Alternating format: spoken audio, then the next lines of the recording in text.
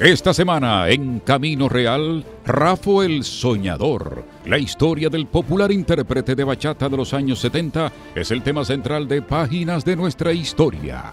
Vivir para contarla. El libro autobiográfico del escritor colombiano Premio Nobel de Literatura Gabriel García Márquez es comentado en Páginas Revueltas.